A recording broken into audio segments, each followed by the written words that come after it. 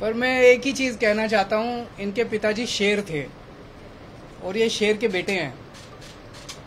तो पूरा महाराष्ट्र इनके साथ है और मैं पूरी उम्मीद करता हूँ कि सुप्रीम कोर्ट से इनको न्याय भी मिलेगा और मेरा अपना मानना है कि ये सारे आने वाले चुनाव जो हैं वो स्वीप करने जा रहे हैं उद्धव ठाकरे जी। तो सर आप क्या सोच रहे हैं कि आने वाले समय में अगर महाराष्ट्र में चुनाव लड़े लड़ते हैं तो उद्धव जी के साथ आप अलायंस करेंगे? वो क्या सोच जब चुनाव आएगा आपको सारी बातें बताएँगे।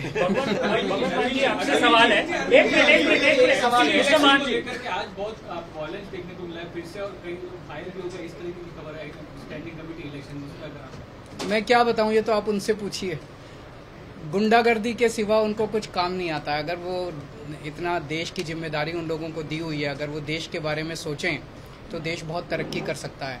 चारों तरफ़ गुंडागर्दी, चारों तरफ़ ये इससे देश आगे नहीं बढ़ता। हम आपस में क्यों लड़ते हैं? हम आपस में इतनी गुंडागर्दी क्यों कर रहे हैं ये लोग?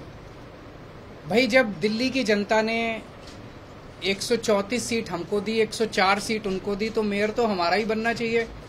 ढाई महीने से मेयर ही नहीं बनाया। डिप्टी मेयर तो हमारा बनना चाहिए स्टैंडिंग कमेटी तो हमारी होनी चाहिए।